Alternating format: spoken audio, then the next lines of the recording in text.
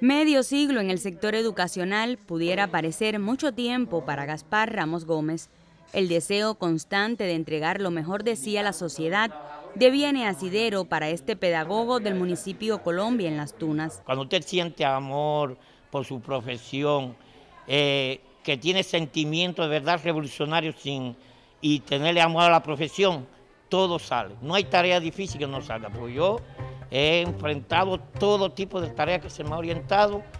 Si hay que, que hay votaciones, la escuela está abierta. Si hay elecciones, la escuela está abierta. Todas las actividades. Lo que hay que tener amor por la profesión, ante todo ética, ejemplaridad, responsabilidad. El Centro Escolar Marcelo Salado Lastre ha sido su segunda casa. Y hasta ahora estoy de director, lo único que ha estado fuera en la Escuela Nacional de Cuadro Fulgencio Oro en Ciudad Libertad, después en el año sabático, después para licenciarme.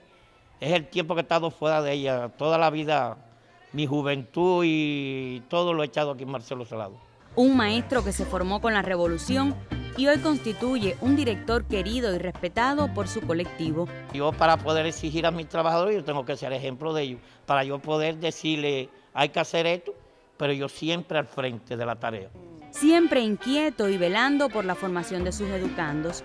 Gaspar Ramos Gómez, director del Centro Escolar Marcelo Salado, tiene mucho para dar todavía. Debemos trabajar con tres cosas fundamentales, que es la escuela, familia y comunidad. Cuando nosotros preparemos esa estructura así en las escuelas de educación familiar, en todas las actividades, porque la escuela es el centro cultural más importante de la comunidad, pero eso se logra con trabajo unido de todos los trabajadores. Yo tengo un buen claustro de trabajadores que creo que esas son las cosas fundamentales que he dedicado mi vida al trabajo por la educación, a mi tarea como cuadro.